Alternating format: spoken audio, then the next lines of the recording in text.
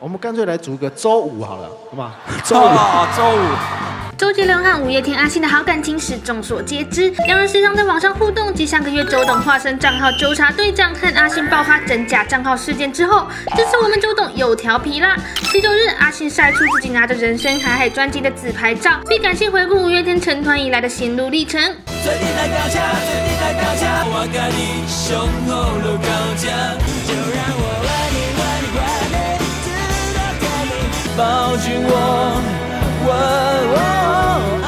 哦，这感人的气氛让边边都差点鼻酸。没想到看到周董在下面留言，哎呦，咬嘴唇哦，我也直接毁掉感情气氛，小翻一票粉丝。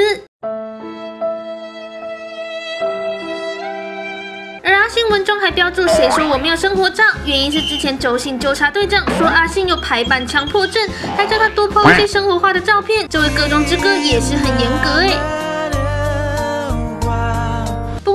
自留言，所以接下来还有两张自拍，期待下两张生活照。为了你的排版强迫症，接下来要再发两张同等生活照才可以。最近阿信会不会为了排版多拍两张自拍照？就让我们继续看下去喽。